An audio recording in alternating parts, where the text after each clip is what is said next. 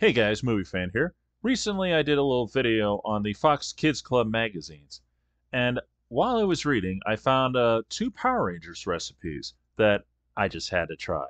For this little video, I'll be making what they call the Orange Freeze Play.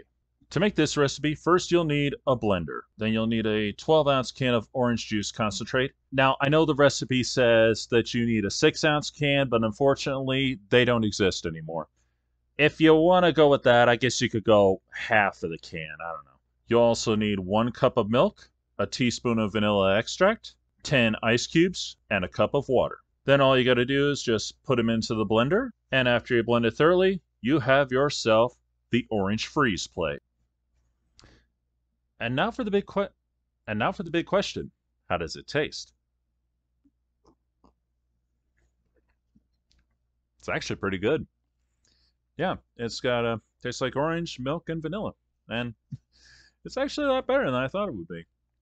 To be honest, I didn't think orange juice and uh, milk would be a good idea, but it works.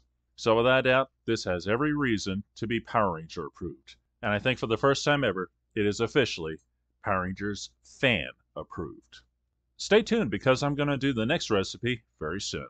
This is Movie Fan, signing off.